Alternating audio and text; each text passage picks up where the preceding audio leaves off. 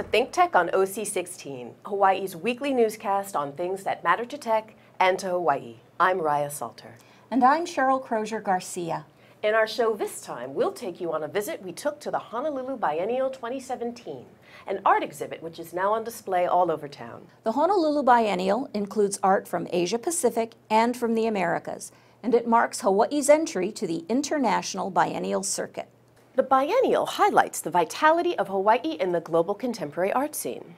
It features 33 local and international artists presenting art relating to local and international issues.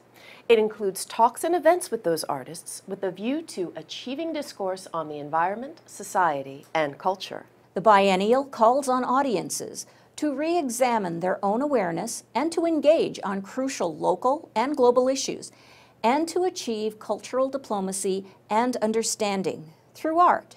And that, of course, includes the rich cultural and artistic diversity of Hawaii. The hub of the exhibit is located at the Old Sports Authority space on Ward Avenue. There are also exhibits at the Honolulu Museum of Art, Ward Village, Honolulu Hale, and Foster Botanical Gardens. It's a celebration of art all over town. And there are also related displays at the Bishop Museum, the Arts at Mark's Garage, the Hawaii Prince Hotel in Waikiki, and the Shangri-La Center for Islamic Arts and Culture. Honolulu had an inaugural biennial exhibit in 2015, organized by the Honolulu Biennial Foundation with support from various local businesses, especially including the Howard Hughes Corporation. The 2017 biennial, now two years later, is much bigger. The opening night of the exhibit this year was at a big party on March 8th. The exhibit is still going on and will run until May 8th, so there's still time to see it. It will be well worth your while.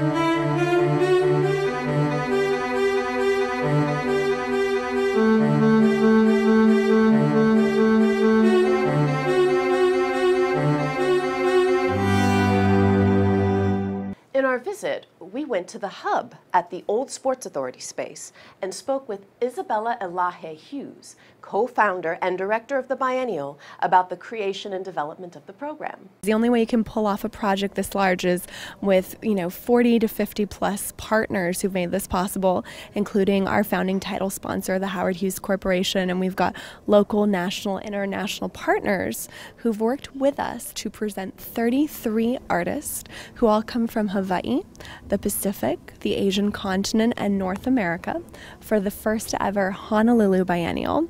We're spread amongst nine different exhibition sites. I'm going to count them this way or I'll forget.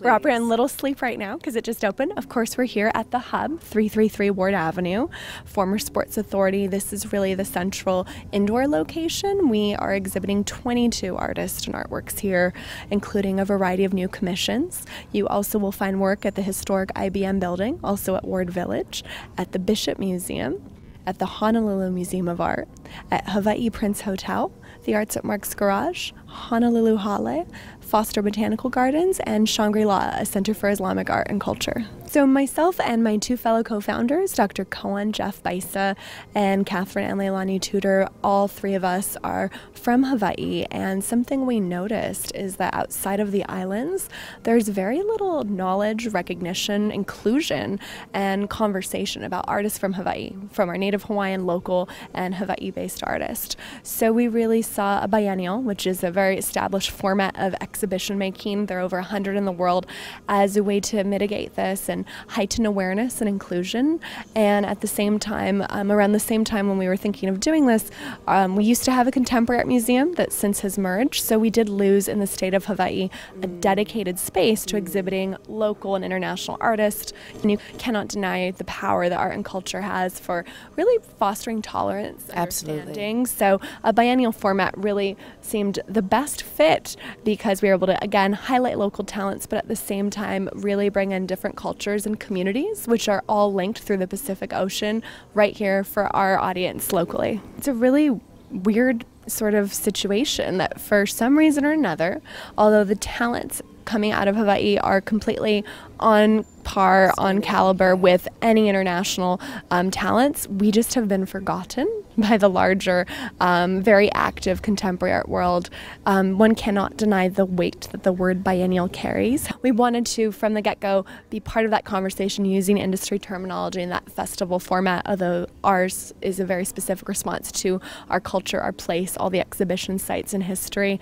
Um, so it's been wonderful just to see with opening week visitors from major museums, other different biennials and triennials, collectors, curators, all traveling here from all over the globe. And um, I look very forward to a fruitful future where hopefully the outcome of this is we see more artists from Hawaii included in the next two to six years on a national international scale. And we hope all of your audience will come and visit us. Again, we run from March 8th until May 8th, and you can find the opening hours for all our different exhibition sites on our website, honolulubiennial.org. We also spoke with Sama Alshaibi and Jane Chang Mi, two artists who had contributed their art to the biennial.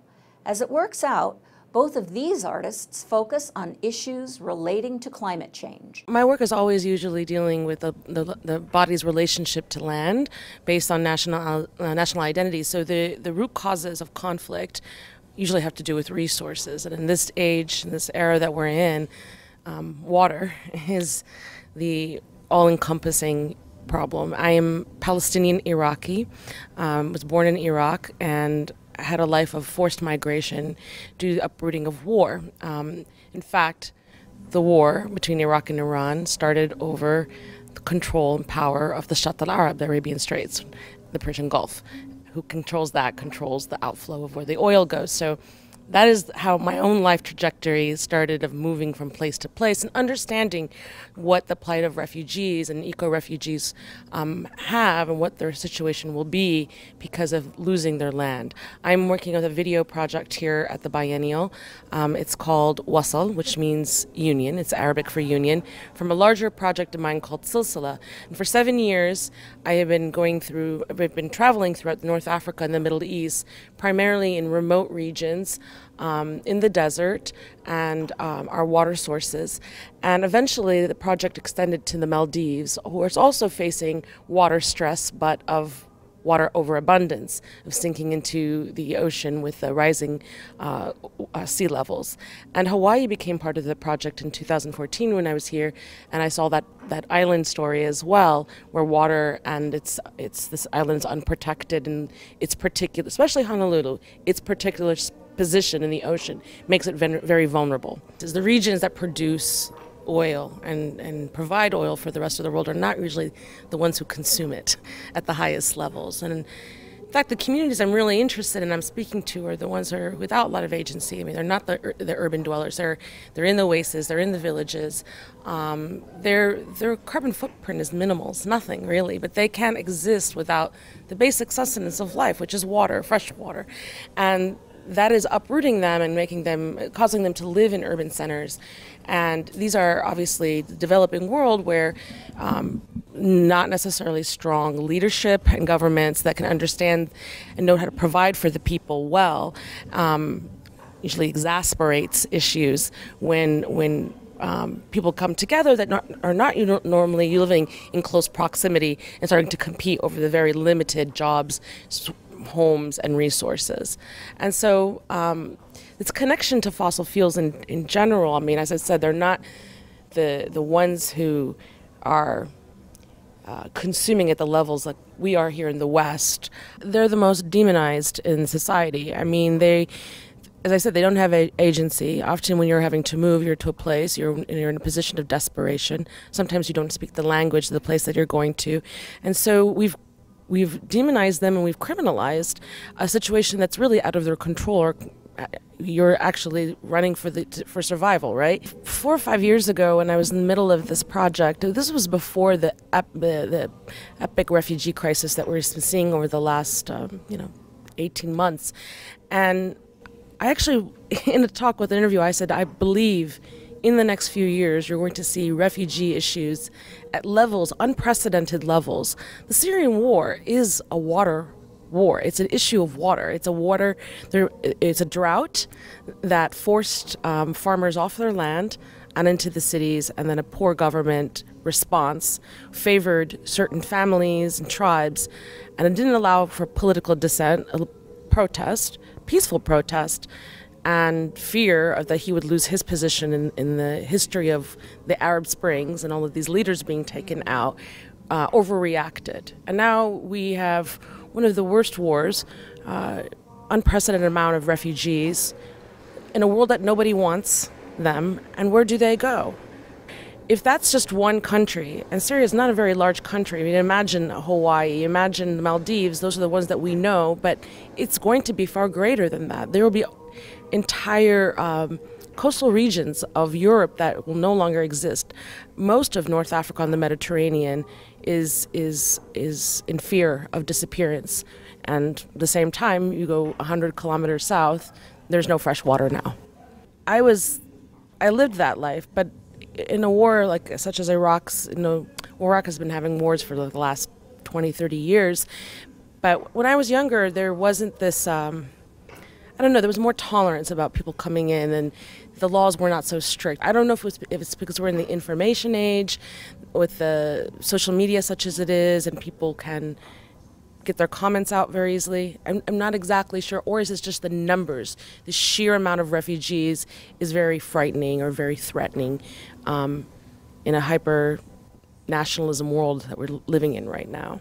I feel like my work is about the environment in general and our conversation with it, right? We're in an immersive space right now. Um, and I think often we forget our relationship with the land or like the Aina here. That's why Hawaii is so important to me. Mm, makes um, sense. It's the place who's that that's like taught me this importance in conversation with the land because we forget about it often. The installation that you see, it's called the Eyes of the Gods as a whole. There are fish prints um, on the wall as well as some historical um, drawings of Stokes photographs from Pearl Harbor um, in the early 20th century. Um, and so it touches on the different or alternative history of Pearl Harbor as a whole. Um, the video is actually taken from um, all the surveying of the USS Arizona and Utah. So oh, as a scientist or as a National Park Service member um, and also US Navy diver, they go and they survey the boat to make sure it's stable, right? Because it's a memorial and, and so they take video when they're down there. Got it, got it. And so, uh, working with a coder, we took out all of the spaces where it was just water um, and made it into a video. So, to, in order to reclaim space, right? Because we don't, all of us don't necessarily have access to the three lochs the way that we used to mm-hmm. because it was 27 fish ponds at, one point in time and then it was a really large recreational area for everyone you'll see as we talk um, all of the water is constantly changing. So this is over about a 10 year period of archive, and it actually has the entire spectrum of the rainbow. Like it's gone blue, it's green, it's also pink, it's yellow. Um, but so that water is actually very in flux, right? It's not just always like water. And sometimes I think we forget that.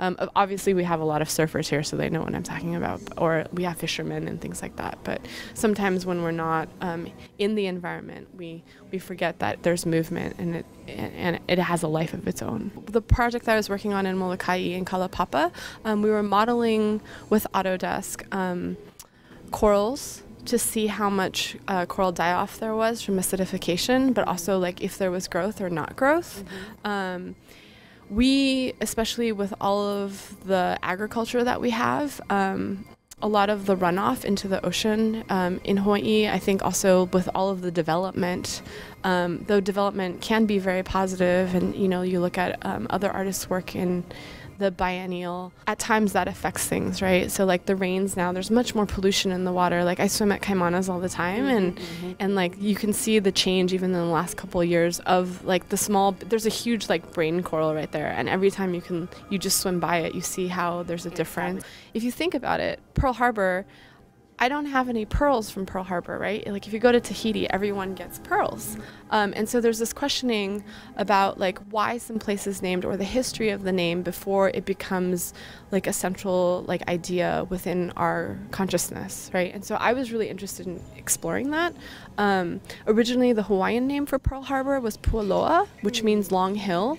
And like I said before, there were 27 fish ponds there, and there were fish that lived there. So I was really interested in looking at okay, well, what what other history is here? Um, just beyond the attacks of Pearl Harbor, because that's generally what is in our narrative. Um, and so if you look at that, the Stokes photographs, for example, show the 27 fish ponds. And even then, like there's one of the Japanese making the pond. So by 1911, the Japanese were also making fish ponds. We are trying to bring fish ponds back in Hawaii in general in regards to sustainability so that we're not dependent on whether it be the mainland or Asia to get all of our food. But that requires a certain level of sustainability. Um, the Hawaiians had different names, like for one fish. So this is the ama ama or the ane here, and it would be would have different names based on the size of the fish. So you can tell that like fish ponds were very important.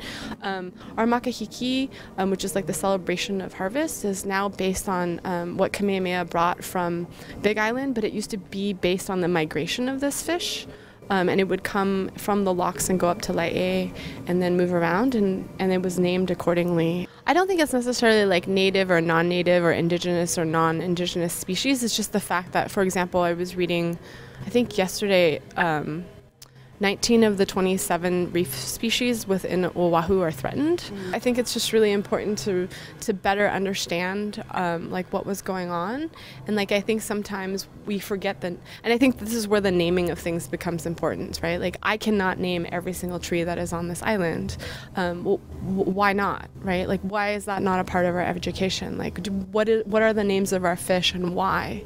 Um, and so I think scientists are starting to study this. A lot of the people I went to graduate school with all work for NOAA now, right? And so these institutions are really, really important in regards to like trying to determine what's going on. So I think that this entire like the relationship between all of that is like ecosystems, right? Like everybody plays an important role, and it's important to hear those voices of those roles. While we were there, we walked around and took a look at the art that was on display, and we spoke with some of the people who had also come to see it. Hi, and welcome to Think Tech Hawaii's coverage of the Honolulu Biennial 2017. I am Raya Salter. So we're here in front of a very interesting exhibit.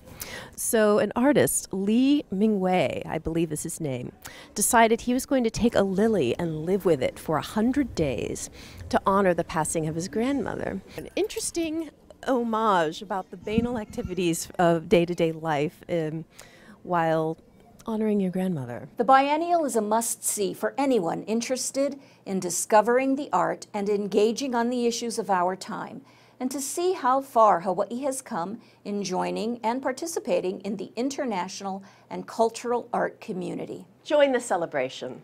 Go there soon and before May 8th, and as they say, expose yourself to art. Want to know more about the biennial? Check it out at honolulubiennial.org.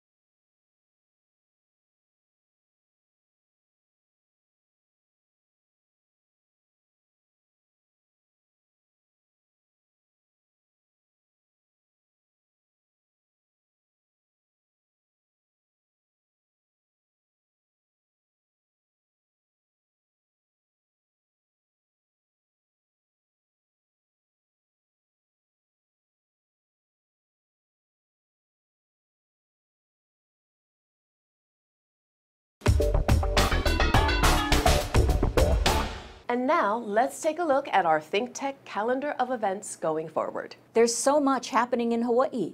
Sometimes things happen under the radar and we don't hear much about them. But ThinkTech will take you there. Remember, you can watch ThinkTech on OC16 several times every week to stay current on what's happening in government, industry, academia, and communities around the islands and the world. ThinkTech broadcasts its daily talk shows live on the internet from 11 a.m. to 5 p.m. on weekdays. Then we broadcast our earlier shows all night long and on the weekends. If you missed a show, or if you want to replay or share our shows, they're all archived on demand at thinktechhawaii.com and YouTube. The audio is on thinktechhawaii.com slash radio, and we post all our shows as podcasts on iTunes. See our website for links. Visit thinktechhawaii.com for our weekly calendar and live stream and YouTube links, or sign up on our email list and get the daily docket of our upcoming shows. ThinkTech has a high-tech, green screen, First Amendment studio at Pioneer Plaza. If you want to join our live audience or participate in our shows, write to think at thinktechhawaii.com. Give us a thumbs up on YouTube or send us a tweet at ThinkTechHI. We'd like to know how you feel about the issues and events that affect our lives together in these islands. We want to stay in touch with you, and we'd like you to stay in touch with us. Let's think together.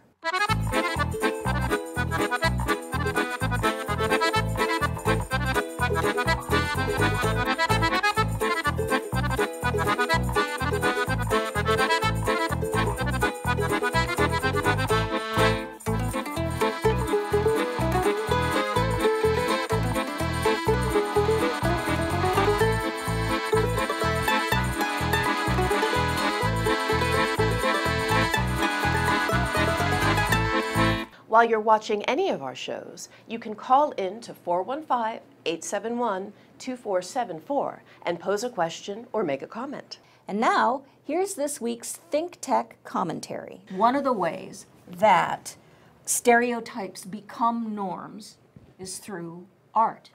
Oh, hello. That's right. I mean, think about um, classic art of Europe uh, from the Renaissance, and think about some of the nudes that were painted. Da Vinci, um, Rembrandt, Holbein, some of those folks. They portrayed the woman's body as something uh, beautiful, first of all, but but voluptuous. So you and I would be supermodels. The artists were commissioned by people with money to paint various subjects. And you know what? What? This still goes on in that it was a subject of a discussion at the biennial on one of the artist talks. Uh-huh. They had the curators there um, talking about some of the sort of political and social issues that sort of came to bear and clash um, in sort of setting up the biennial. But it wasn't really about like women in particular, but it um, just that this is a, you know, but there's a lot of power in the ivory tower. Indeed. Yeah, there is. Um, and art is also one of the ways historically that the stories of those who are not as powerful and who may not have had as, as loud a voice in society of their time, this is one of the ways that, that snapshots of their lives can be perpetuated going forward. We'll be right back to wrap up this week's edition of Think Tech. But first, we want to thank our underwriters.